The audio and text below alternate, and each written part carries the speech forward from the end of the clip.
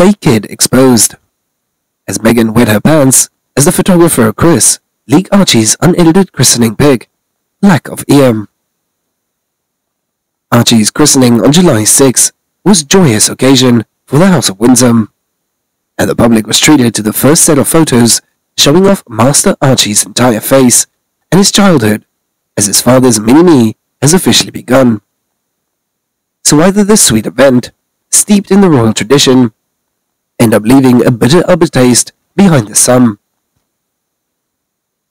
The photos taken by Chris Allerton show baby Archie surrounded by his closest family members. In the photo, Duchess Camilla, Prince Harry, Meghan Markle, and baby Archie, and Kate Middleton was seated for the photo.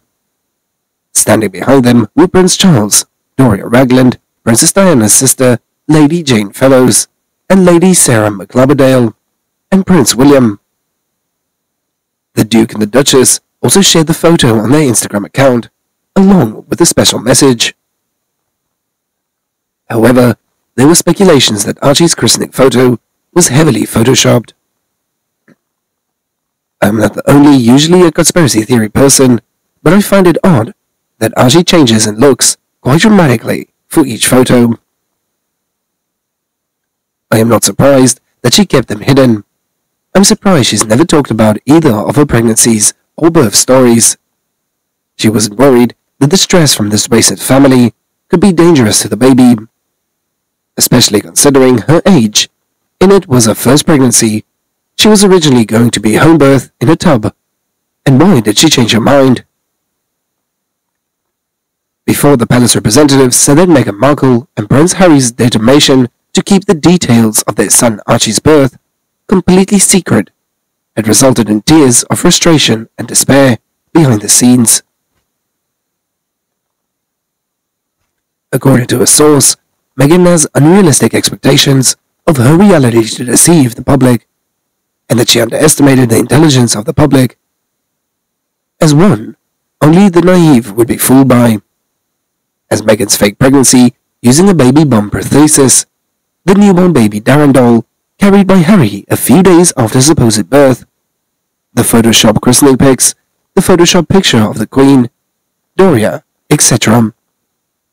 With Meghan holding the baby Darren doll in the hallway, the larger doll draped on the front of Meghan when walking the dogs in Canada, and the storytime video with a borrowed baby who didn't know Meghan, as the fake voice of Archie on the podcast. If Archie exists, he was born by a surrogate, and she has kept him. And my understanding is that in the UK, the surrogate is the legal mother of the child until she agrees to form of abortion.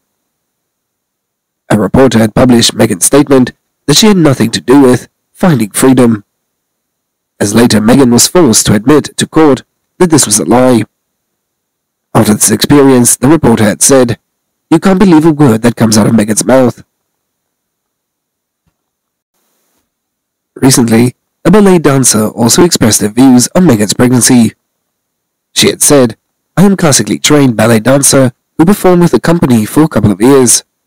I taught ballet through two pregnancies, and I'm not bragging. But it was incredibly shape, and I did a thousand plies. No way you can choose your knees with a fetus in there. I promise you, Meghan Markle was not pregnant. She had squatted in stilettos repeatedly in her last trimester with her knees closed. Impossible. Also, she was recovering from a bunion surgery. Ouch. And impossible earth a hundred times over.